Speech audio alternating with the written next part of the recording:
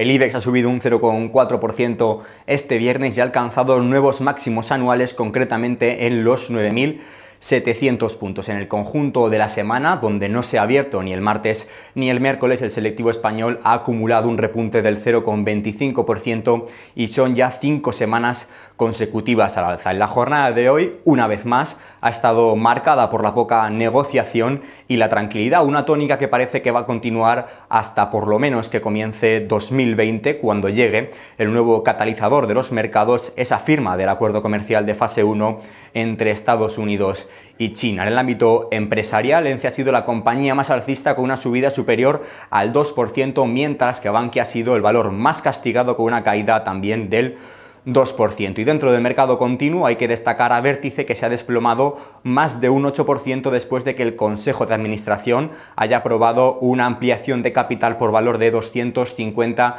millones de euros para integrar al grupo español Squirrel Capital. Y en otros mercados el barril de Bren cotiza al alza y se paga por encima de los 68 dólares, mientras que el euro se cambia por un dólar con 11 centavos. Pueden seguir informados en bolsamanía.com.